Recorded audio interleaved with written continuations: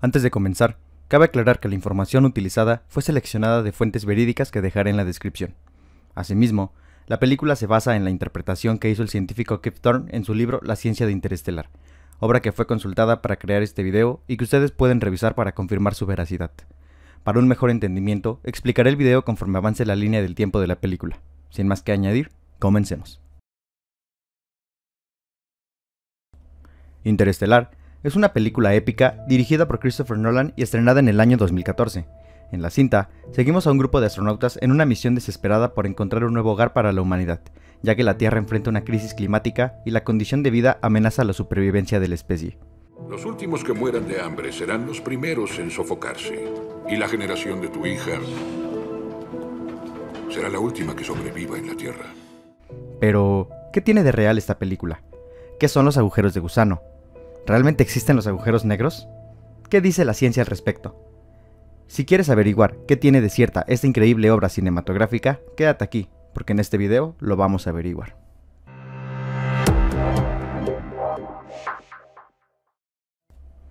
En el filme se nos relata la historia de un futuro no muy lejano donde se han acabado los recursos y el cambio climático amenaza cada vez más a los seres vivos. Y mientras vemos secuencias de esto, se nos presenta el personaje principal, Cooper, un expiloto e ingeniero que se embarca en una misión espacial para salvar a la humanidad. Y aunque no lo creas, esta película se ha caracterizado por ser muy realista en cuanto a la física que contiene. Pero esto no es de sorprenderse, pues el consultor científico, director ejecutivo y quien le enseñó la idea a Nolan es nada más ni nada menos que el científico Kip Thorne, un físico teórico que ganó el Premio Nobel de Física en el año 2014, esto por observar las ondas gravitacionales que había predecido Einstein. Thorne nació en 1940, es viejo amigo de Carl Sagan y de Stephen Hawking, es uno de los mayores astrofísicos del mundo, razón por la cual es reconocido como uno de los científicos más famosos de nuestra era, y asimismo es uno de los mayores expertos en relatividad del mundo. La película se fue desarrollando con la supervisión científica de Thorne. Él dijo que la única condición para realizar el filme era que la película no violara ningún principio físico, y asimismo fue grabada. Entonces, la película inicia con Cooper, el protagonista, averiguando la razón de algo muy extraño que su hija le reporta. Los libros se están cayendo sospechosamente de su librero, y al analizar el comportamiento, Coop se percata que le están dando unas coordenadas en clave Morse, coordenadas que lo llevan a la base secreta de la NASA, en donde se entera que los expertos han encontrado una nueva forma de viajar a otra galaxia, un agujero de gusano que apareció en nuestro sistema solar. Y aquí comienzan nuestras preguntas.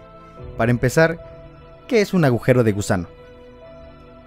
Pues bien, un agujero de gusano, en palabras muy simples, es un atajo para viajar en el espacio-tiempo, con el cual, en vez de tardar miles de años de llegar del punto A al punto B, podemos doblar el espacio para crear un túnel y así acortar el camino. A estas hipotéticas estructuras tridimensionales se les han puesto diferentes nombres con el paso del tiempo, como por ejemplo túneles de Flam, experimento de Whale, puentes de Eisen-Rosen o agujeros de gusano, como los llamó John Wheeler en 1957, quien era un astrofísico muy reconocido y maestro de Kip Thorne.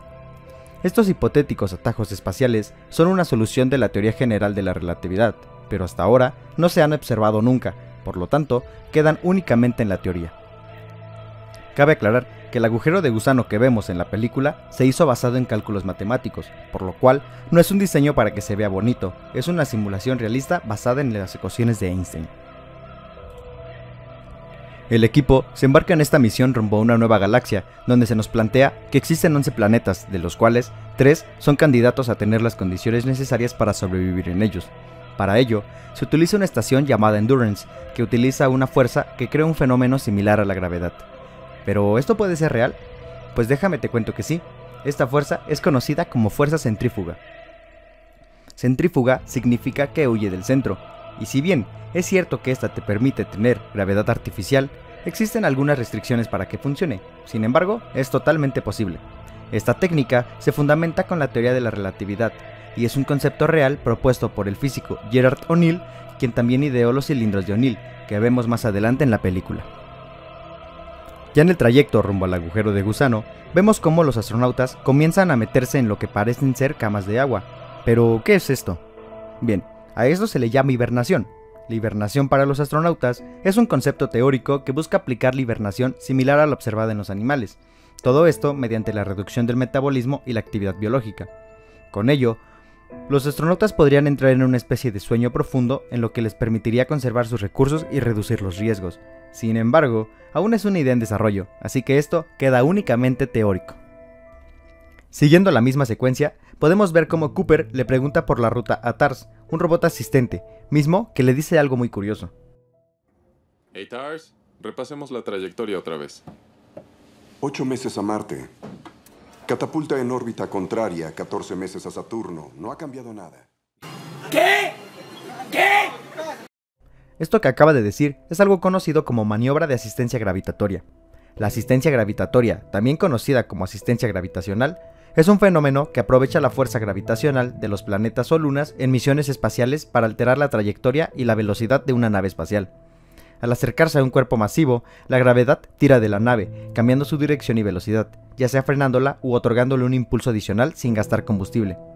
Para verlo mejor, observemos el siguiente clip. Imagina que el objeto que está en el centro es un planeta curveando el espacio-tiempo. La bolita naranja que vemos es nuestra nave espacial, entonces, de esta manera, aprovechamos la fuerza gravitacional del planeta para tomar impulso y dirección, justamente así como en este video. Esto permite alcanzar destinos lejanos con menor consumo de combustible, y aunque tiene, como todo, pros y contras, ha sido exitosamente utilizado en misiones como Voyager, Galileo y Cassini. Regresando al filme, después del tiempo establecido, llegan al agujero de gusano y lo atraviesan. Ya en la otra galaxia, deciden ir al primer planeta, el planeta de Laura Miller, un extraño planeta lleno de agua, donde una hora ahí es igual a 7 años en la Tierra. No, no, no es eso. Es el tiempo. La gravedad del planeta frenará nuestro reloj comparado con la Tierra. Drásticamente. Drásticamente. Cada hora que pasemos en el planeta equivale a siete años de vuelta en la Tierra. ¿Qué? ¿Qué? Y aunque esto te parezca súper loco, esto es algo completamente cierto dentro del campo de la física y la razón se llama dilatación temporal. Es la relatividad, amigos. La dilatación temporal es un fenómeno predicho por la teoría de la relatividad de Einstein, que se refiere al efecto que la velocidad relativa entre dos observadores tienen sobre la medición del tiempo. Es decir, la dilatación del tiempo es que el tiempo depende del estado de movimiento de quien lo determine. Entonces, dos personas que están en movimiento relativo una respecto a la otra miden tiempos totalmente diferentes. Este efecto ocurre cerca de objetos masivos como agujeros negros, donde el tiempo se dilata en comparación con regiones de menor gravedad. La dilatación temporal ya ha sido confirmada experimentalmente, así que aquí también es cierto. Un dato curioso es que si escuchas la banda sonora de la película en ese momento, escucharás un tic-tac cada 1.25 segundos. Estos sonidos significan un día en la Tierra, lo que nos demuestra cómo avanza el tiempo de manera veloz mientras los personajes están luchando por escapar.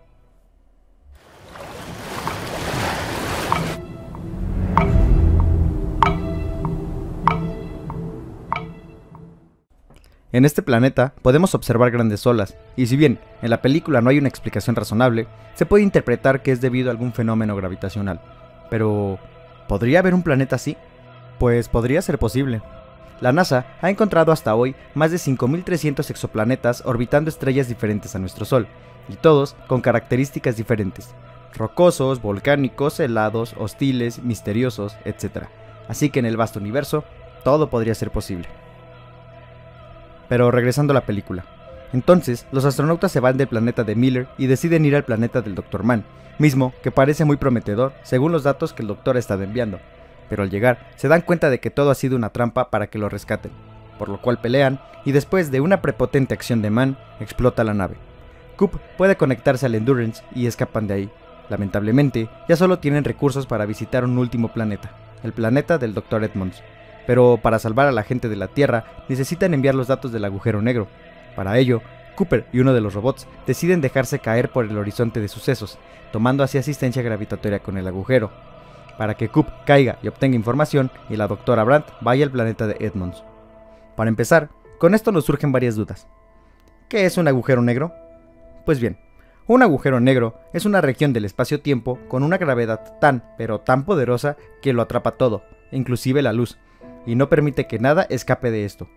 Se forma cuando una estrella masiva colapsa bajo su propia gravedad, creando así una singularidad en su centro, donde las leyes conocidas de la física parecen fallar. Alrededor de la singularidad hay un horizonte de sucesos que marca el punto de no retorno para los objetos. Una vez que cruzas el horizonte de sucesos, ya no hay marcha atrás. Ya dicho que es un agujero negro, surge otra duda. ¿Un agujero negro como el de la película podría ser posible? Pues la respuesta es que sí.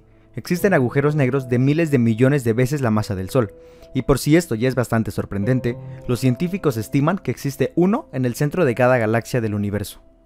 De hecho, en el año 2019 fue capturada esta fotografía. Lo que ves es la primera fotografía de un agujero negro real. Fue obtenida en una colaboración internacional de astrónomos que utilizaron la técnica de interferometría de muy larga base.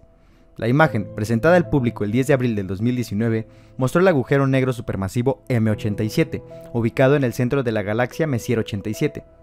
Y quizás te preguntas por qué se ve así. Pues bueno, es que fue tomada desde la Tierra y este agujero está a unos 55 millones de años luz de la Tierra. Por eso es que se ve así. Pero eso será tema de otro video. Como vemos en estas dos imágenes, son muy similares, ¿verdad? ¿Por qué pasa esto? Bueno, pues como hemos dicho antes, Kip Thorne estaba obsesionado con hacer la película lo más apegado a la realidad, así que lo que estás observando no es un diseño estético de Hollywood, sino una simulación hecha a computadora que respeta totalmente las ecuaciones planteadas por Albert Einstein. Entonces, Coop cae al agujero negro y vemos que no le pasó nada. ¿Es esto posible? Bueno, la verdad es que aquí tuvo una gran ayuda del guion, pues no es posible saber qué pasaría si caes en un agujero negro. Nunca nadie ha estado tan cerca de uno. Muchos dicen que a causa de la radiación que éste emite, cualquier cosa que cruzara su horizonte de sucesos sería desintegrado al momento. Por su parte, algunos otros hablan de una espaguetización, donde a causa de la enorme gravedad sería succionado con tal fuerza que todo tu cuerpo sería convertido en un espagueti. Pero esto sigue siendo muy teórico, pues repito, nunca nadie ha estado tan cerca de uno para comprobarlo. Cooper se encuentra dentro del agujero negro, y ahí habla de unos datos cuánticos para completar la ecuación de la gravedad. Esto se usó para meterle más acción, pero hay algunas cosas que podemos rescatar, como por ejemplo, lo que observas en esta imagen es Thorne escribiendo las ecuaciones que vemos en el pizarrón, y es que el tema principal del filme es su campo de especialización. Algo a tomar en cuenta es que, a pesar de ser una de las cosas más famosas de la ciencia, la gravedad también es la fuerza menos conocida, ya que no es tan sencillo estudiarla y depende de muchos factores. Los datos cuánticos que contienen los agujeros negros son indispensables para conocer cómo se comporta la gravedad a nivel cuántico. Ya dentro del agujero negro, Cooper se encuentra en lo que se llama un tesseracto. Pero aquí tenemos otra pregunta. ¿Qué es un tesseracto?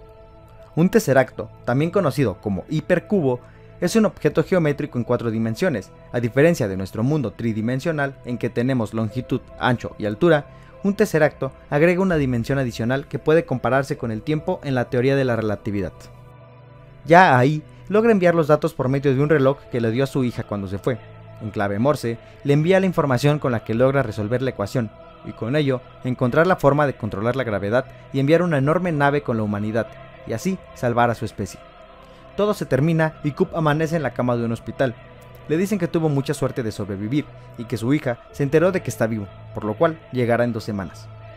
Él se percata que está en cilindros enormes giratorios. A estos cilindros se le llaman cilindros de O'Neill. Un cilindro de O'Neill es una megaestructura espacial propuesta por Gerard O'Neill en la década de 1970. Consiste en un cilindro hueco giratorio en órbita alrededor de un planeta o de una estrella, diseñado para albergar una gran cantidad de personas en un hábitat autosostenible en el espacio. El cilindro generaría una fuerza centrífuga artificial para simular la gravedad, permitiendo a los ocupantes vivir en su interior como si estuvieran en la Tierra.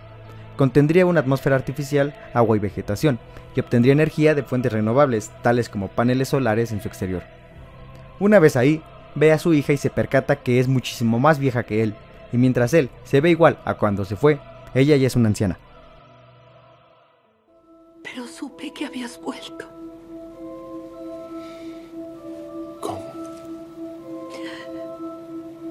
Mi papá me lo prometió. ¿Pero esto es posible? Pues sí, sí es posible. Este concepto le pertenece a la relatividad especial de Albert Einstein.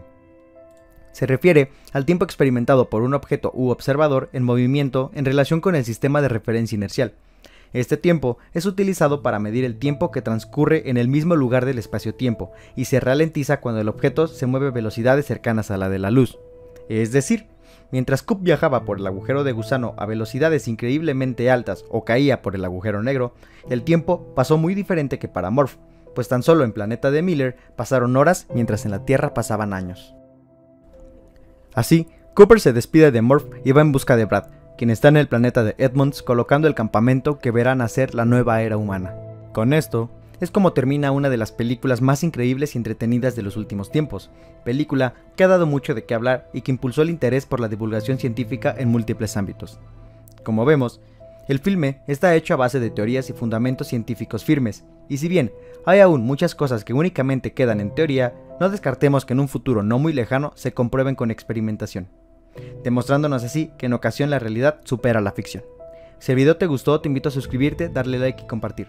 Y recuerda, en algún lugar, algo increíble espera ser descubierto.